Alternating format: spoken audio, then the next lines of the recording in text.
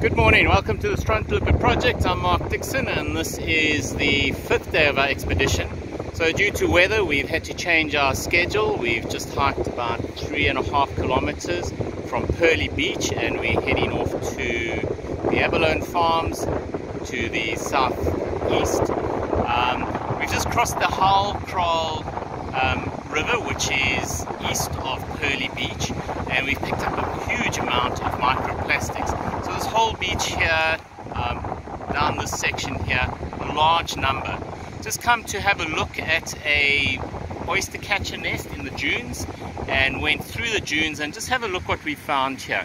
So obviously the prevailing wind is bringing everything down this way. The microplastics are getting washed down and here we are. So this is just a wind-blown gully in the dunes and just have a look at the amount of microplastics that are washing up.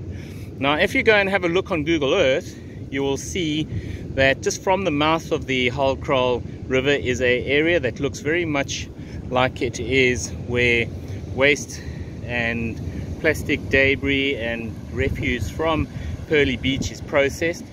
But we've got a huge amount of microplastics here, a lot of sucker sticks, a lot of, um, we've even got a hair braid down here. We've got earbuds, all these broken little bits and pieces. So, and this is one of the bottle tops, everything. This is exactly the biggest issue that we have with microplastics.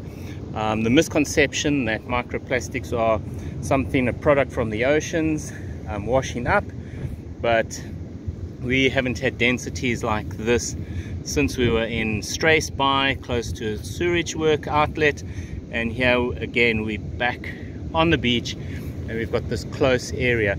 And as we just walk further down here going back into the dunes and here you just see the trash.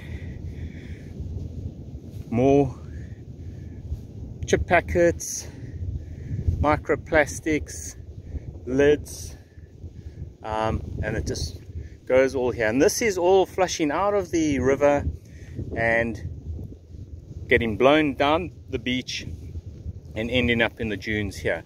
So this dune field is obviously huge amount of the debris that is coming out of the Pearly Beach community.